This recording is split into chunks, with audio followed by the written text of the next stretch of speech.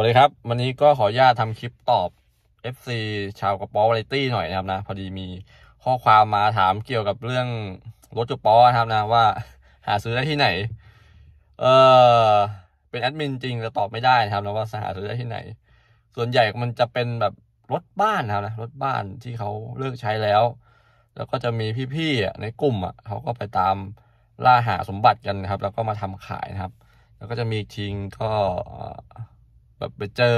ฟุกไปเจออะไรประมาณนี้แล้วเข้าไปถาม ขอซื้อจะมาทำนะครับนะแล้วก็มาทำขายกันอีกทีหนึ่งหรือว่าใครโชคดีก็ไปเจอรถที่เขายังใช้ได้อยู่นะแต่ว่าเขาไม่ได้ใช้แล้วอย่างบางคนเนี่ย มีสมาชิกในครอบครัวแบบ เยอะอะอย่างผมเนี้ยสามคนแล้วนั่งไม่ได้แล้ว แต่ต่ก่อนนี้หวานแหววนั่งกันสองคนได้อะไรประมาณนี้มันก็ใช้ได้ใช่ไหมเออ ครับ มันก็จะมีประมาณนี้ แต่ถามว่าโชว์รูมเนี่ย มีไหม มันไม่มีเป็นแบบจริงจังครับ จะมีก็จะเป็นรถนำเข้า ซึ่งรถกระป๋อป้ายแดงเนี่ยราคานี่อยู่ประมาณ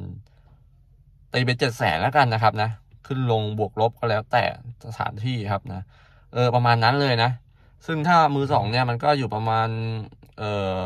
หกหมื่นถึงแสนสองแสนสามแสนแล้วแต่สภาพครับ แต่ละรุ่นนี่ไม่ไม่เหมือนกันนะครับ ต่อให้รุ่นเดียวกันนี่แต่ว่าสภาพต่างกันนี่ก็ราคาต่างกันเยอะนะครับ แล้วก็มีทะเบียนไม่มีทะเบียนก็อีกเรื่องหนึ่งแล้วก็อ่าเรื่องเรื่องเรื่องทะเบียนเนี่ยซื้อรถมีทะเบียนกับไม่มีทะเบียนนี่คือถามถามไม่จบอะถามถามแล้วถามอีกอะเออ เอาเป็นว่ามันดีทั้งคู่ครับ อันนี้คือสายดาร์กเลยนะคือดีทั้งคู่ครับ แต่ถ้าคุณจะไปวิ่งบนถนนเนี่ย แนะนำให้มีทะเบียน ซื้อมีทะเบียนอย่าไปเสียอย่าไปเสียดายตังค์อย่าไปเสียดายตังค์ว่า เอาของถูกมาครับนะ แล้วก็กะเดี๋ยวจะมาต่อที่หลังทำที่หลังอะไรประมาณนี้ ไม่แนะนำครับเพราะผมทำไม่เป็น ต้องเป็นคนที่มีความรู้ความสามารถจริง ๆ นะครับนะในในด้านเรื่องอกฎระเบียบอะไรต่าง ๆ เนี่ยนะเอออันนี้ผมผมไม่มีข้อมูลผมก็เลยไม่แนะนำอ่าใครถามมาว่าควรซื้อไหมซื้อไหมสภาพรถสวยมากอะไรประมาณเนี้ยผมไม่แนะนำเลย เออ แต่ถ้าใครจะซื้อเอาไปใช้งานในส่วนในไร่ในป่าในดงในเขาในในอะไรก็ตามอะที่แบบแบบใช้หนักๆโหดๆอะ เออ อันนี้ดีถ้าสภาพรถดีนะ ต้องสภาพรถดีด้วยนะ เออ ใช้ได้ ใช้ได้ดี แต่ถ้าเกิดสมมุติว่าคุณ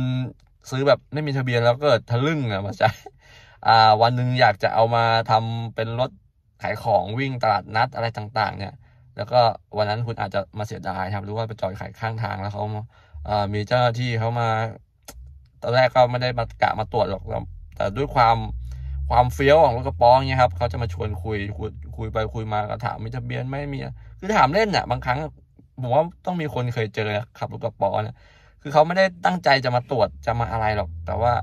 ก็ถามอะสนใจอยากจะซื้อซื้อมาเท่าไหร่อะไรเงี้ยแล้วก็ตายเองอะ ตายเองเพราะ ราะว่าแบบน่ะเราไม่มีคือเรื่องเอกสารเราไม่มีตายเองครับมันไม่ได้